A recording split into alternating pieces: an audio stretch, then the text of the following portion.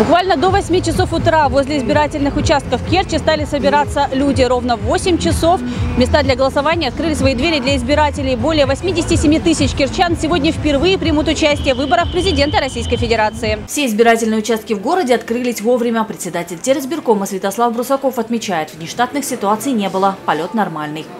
Все избирательные участки города Керчи открылись своевременно, в 8 утра. Э, Были розданы все списки, э, получены бюллетени своевременно, обеспечены всем необходимым.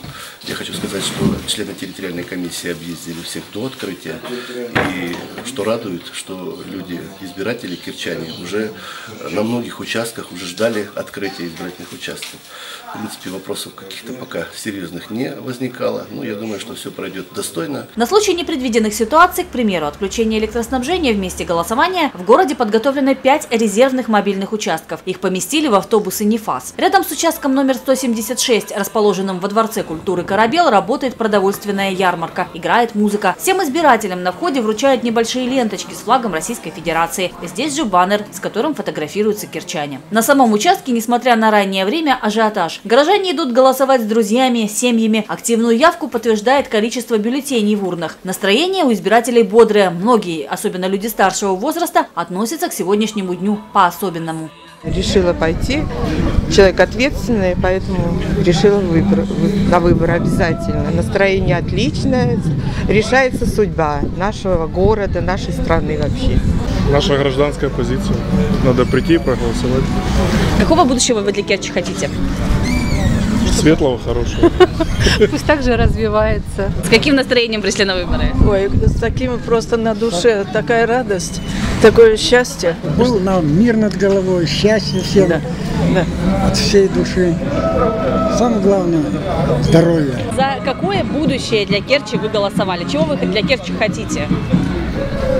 чтобы не было прошлого, только светлое будущее. Кеш я люблю, это самый лучший город в России и в том, же- в том же Крыму. Вы прямо с утра такая нарядная пришли на выборы. Да как же, надо. Это просто мы должны это делать. Даже не должны, а не должны, не обязаны миру на Керченской земле. И больше слов нет, я сейчас заплачу. На расположенном недалеко участке номер 175 за первые два часа проголосовало 400 человек. Среди них 18-летняя Кристина. Это ее первые выборы. Вы голосуете первый раз? Я да. вам, кстати, говорили, что какие-то подарки будут для тех, кто первый раз голосует. Вам что-то подарили? Конечно, целый магнит на холодильник. Понятно. А как вы думаете, почему важно голосовать? Ну, если для меня важно мое будущее, то важен мой голос. Рядом с участком сотрудники Всероссийского центра изучения общественного мнения. Они подсчитывают количество избирателей. Эта информация станет частью общероссийской статистики. Ну, я здесь живу, вот, приехала к родителям, и здесь решила голосовать. Отличное настроение, вот, я рада, все-таки чувствую себя какой-то единой частицей общего. Вот. Классное ощущение, вот, я рада, что у меня есть возможность голосовать. У меня муж здесь по прописке, а я на Солнечном сейчас пойду голосовать, 24 школу. Я считаю, что хоть мой маленький вклад, но я должна внести вот выбор все- все- всей Российской Федерации.